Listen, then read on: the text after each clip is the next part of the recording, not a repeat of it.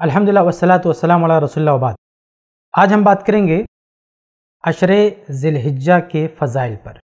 ज़िलहिज के जो इब्तदाई दस दिन हैं, उनकी फजलतें क्या है?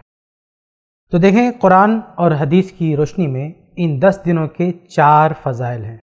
वही चारों मुझे आपके सामने ज़िक्र करना सबसे पहली फजीलत यह है कि ये दस दिन हज के अयाम में शुमार होते हैं। सूर्य बकरा आयत एक सौ सत्तानवे में अल्लाह फरमाता है अलहज अशहर मालूम कि हज के अयाम उसके महीने मुतन हैं। तो उन्हीं में से ये अशरा भी आता है, जैसा कि एक मारूफ बात है। तो ये एक फजीलत है इन दस दिनों की कि ये अयाम हज है।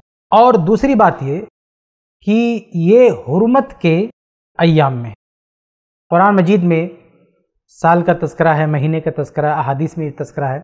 कुरान में अल्लाह ताला ने ज़िक्र किया है सूर्य तोबा आयत छत्तीस में इन न इद्दत शहर इन इसना अशर शहर कि अल्लाह रब्बुल के यहाँ बारह महीने ये महीनों की तादाद है। अल्लाह की किताब में जब अल्लाह ताला ने आसमान ज़मीन को पैदा किया था। मिनहा अरबातुन हुरुम। इन महीनों में चार माह ये हुरमत के हैं। अब ये चार माह कौन से हैं? इसकी तशरी सही बुखारी के हदीस में आई है। अबू बकरा रज़ी की रवायत है, वो कहते हैं कि अल्लाह के नबी सल्लल्लाहु अलैहि वसल्लम ने खुतबा दिया और बयान फरमाया कि इन बारह महीनों का ज़िक्र किया और उसमें हरमत के महीनों का ज़िक्र किया तो कहा सलासुम मतवालियात, जुल्क़ादा व जुल्हिज्जा। तो इस हदीस में अल्लाह के नबी वसल्लम ने जिलहिज के महीनों को गिनाया है अयाम हरमत में। तो ये दूसरी फजलत है इन दिनों की कि ये हरमत के अयाम हैं। तीसरी फजलत यह है कि अल्लाह ताला ने इन अयाम की कसम खाई है। कुरान में अल्लाह फरमाता वलफजर वलयालिन अशर। की कसम है फजर की और दस रातों की। इन दस रातों की तफसीर में कई ने कहा है कि सिमराद जिलहिज के इब्तदाई दस दिन है, अशर जिलहिजा। तो ये तीसरी फजलत है। चौथी फजलत जो इन दोनों की है, वो ये कि सोन तिरमिज की हदीस है, हदीस नंबर सात सौ सत्तावन। उसमें अल्लाह के नबी वसल्लम फरमाते हैं कि मामिन अयामिन अमलफ़िन अहब मिन हदिल अयामिल अशर।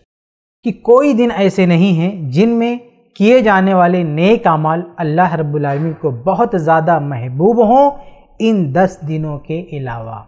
तो आप सल्लल्लाहु अलैहि वसल्लम ने इन दस दिनों में किए जाने वाले अमाल की बहुत ज़्यादा फजलत बताई है तो ये हदीस भी इन दस दिनों की फजलत को बताती है। खुलासा ये कि अशर जिलहिज के कुल चार फ़जाइल हैं। नंबर एक, कि ये अशरा, ये अयाम ये दिन हज के दिन में शुमार होते हैं।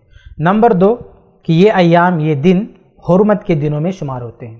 नंबर तीन, कि अल्लाह ताला ने इनकी कसम खाई है। नंबर चार, कि अल्लाह के नबी सल्लल्लाहु अलैहि वसल्लम ने इन दिनों में किए जाने वाले अमाल की बहुत ज़्यादा फजलत बयान की है। तो ये मुख्तसर बात थी इन दिनों के फ़जाइल के हवाले से। अल्लाह से दुआ कि अल्लाह ताला हम सबको तोफ़ी दे कि इन दिनों की फजीलत से हम इस्तेफ़ादा करें और इन दिनों में जितना हो सके अल्लाह की इबादत करें। अल्लाह हम सबको इसकी तोफ़ी दे। आमीन रबालमीन